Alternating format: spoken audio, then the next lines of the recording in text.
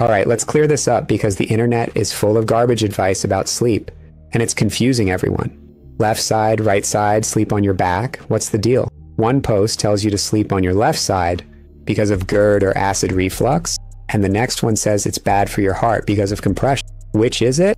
Honestly, it feels like sleep advice has become the new fad diet. Contradictory, overcomplicated, and half of it is probably BS. Here's the thing sleeping on your left side is often recommended if you've got acid reflux or GERD because of the way your esophagus and stomach align. It can help keep stomach acid where it belongs, down in your stomach. But wait, some people swear they can't sleep that way. Maybe they've got shoulder pain or it just feels unnatural. So they switch to their right side, which might feel better, but could let acid creep up into their esophagus. Great, right? Damned if you do, damned if you don't. And then there's back sleeping. Sounds perfect, right?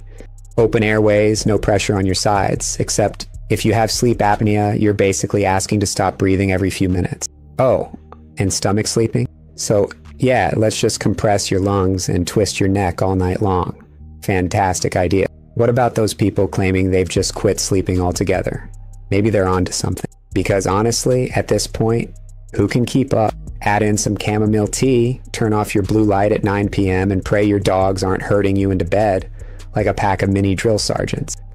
Seriously, who knew pets had better bedtime routines than humans? And social media makes it worse. Don't believe everything you see, they say, but then they post videos showing someone sleeping on their right side while telling you the left side is better. It's like they're trolling us. And let's not forget the armchair experts who stretch a five minute topic into a 20 minute lecture that leaves you more confused than when you started. Here's the bottom line sleep on whatever side keeps you comfortable. And out of the ER, left side, right side, back, it doesn't matter if you're not getting quality rest. And for the love of all things sane, if you're relying on TikTok or YouTube for your sleep science, maybe rethink that strategy. Send this to a friend who needs to hear it because, trust me, they're just as confused as you are.